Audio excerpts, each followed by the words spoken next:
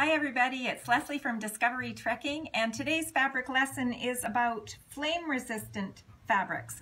And we recently got some really great Polartec flame resistant fabrics in in base layers and also we have some Power Shield which is an outerwear fabric and I believe right here we also have some Wind Pro Stretch. So I want to show you the difference between a fabric um, that you would ordinarily work with that is not flame resistant compared to what happens to a fabric that is. And we're going to play with fire. So this is a Polartec Wind Pro Stretch. Uh, love this fabric, use it all the time, but I'm going to actually light it on fire so you can see what happens. It will burn, and it will continue to burn.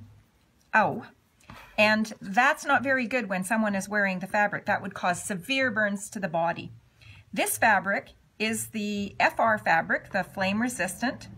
So it will not melt or drip when lit on fire. And it actually self-extinguishes. Can't get it to burn. So there you go.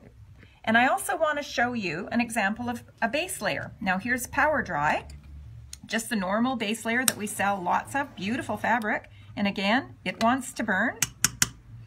And here's one that is our brand new um, Polartec Power Dry flame resistant and it self-extinguishes as well. So this is really good for people who are welding, who are in a workplace that requires these uh, particular fabrics, um, just for safety reasons.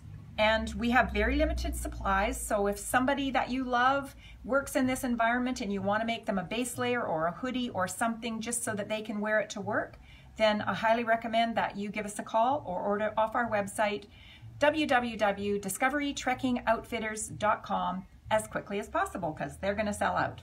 See you soon.